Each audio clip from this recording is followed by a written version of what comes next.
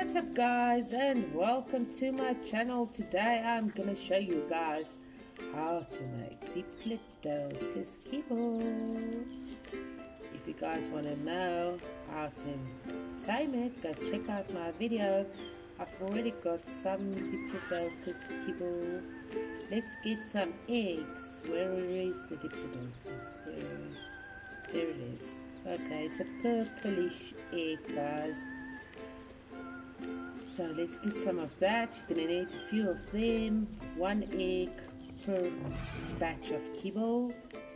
We're gonna have to get some. I think no, we're not gonna get those. We're gonna get some savoroot, guys. We're gonna get some.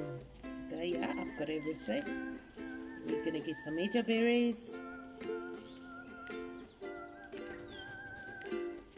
Okay, we can take all of that. I never stick to the recipe, guys, so but I'll I'll put the recipe up for you guys to see a little bit later Um, and some rare flowers, guys. You're gonna need some rare flowers. Alright, let's go to the cooking pot. Let's just take all of these things out because I use those for sweet vegetable cake. So you're going to put in one Diplo egg, some rare flowers, some Mejoberries, and some savoroot, and some water, guys. Bring the water. Okay, and there we are. We are starting to make some diplo Diplodocus kibble to go inside the Allosaurus. Let's just fill up these water jars. Doop, doop, doop. oh, that one I messed up. Doop, doop. Okay, we can just leave that.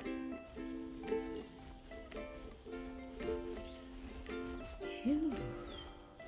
Poop everywhere. How come there's poop everywhere? Okay, so this one should be done. Yep, we've got some Diplo A kibble, guys. And you just keep on doing that one egg and some water. And there we go. We are making Diplodocus kibble guys. To, to go and tame the Allosaurus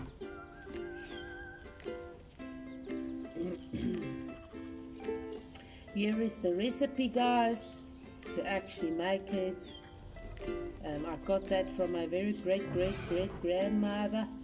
So hopefully you guys can use it. And tame yourself some Allosaurus. Uh, I think you're going to need about I don't know it depends on the level of the Allosaurus but you can tame about or you can make about six or seven that's a safe amount. Okay guys well that's it from me. Crowned Leech I really really hope you guys enjoyed the video please subscribe like and share Okay, bye bye.